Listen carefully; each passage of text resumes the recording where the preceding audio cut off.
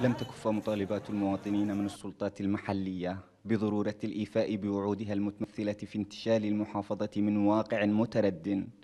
جاء ربما نتيجة ما خلفته الحروب في السنوات الماضية. السلطة المحلية لها سنة. من يوم ما مسكت مهامها وإيش فعلت لنا؟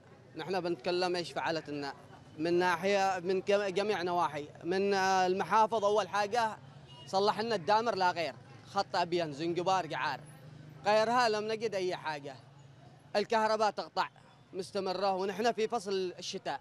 عدم أجل الحمل الذي لا نلاقي فيه الكهرباء نهائيا. وعلى الرغم من الإنجازات التي حققتها القيادة المحلية هنا في محافظة أبيان وجهودها في إعادة ترتيب الكثير من القطاعات الخدمية إلا أن الكثير من الخدمات الضرورية ما زالت غائبة وأخرى في حالة متردية. ما انجزته السلطة المحلية في محافظة أبيان في العام الماضي 2017 هو حسب البرنامج المعدلة من قبل المحافظ ولكن ما نعانيه وما يعانيه المواطن الأبيني خاصة هو استشراء الفساد في مؤسسات الدولة.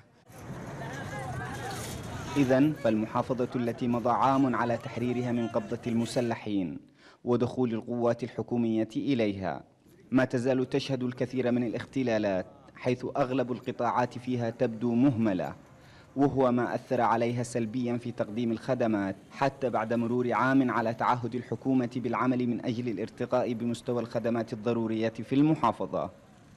تدرك السلطة المحلية في محافظة أبيان إنها تواجه الكثير من التحديات في طريق الإصلاح الذي تسعى إليه خصوصا وقد باتت اليوم في مواجهة حتمية أمام الوعود التي قطعتها للمواطنين المتمثلة في تنفيذ المشاريع الخدمية المرتبطة بالحياة اليومية.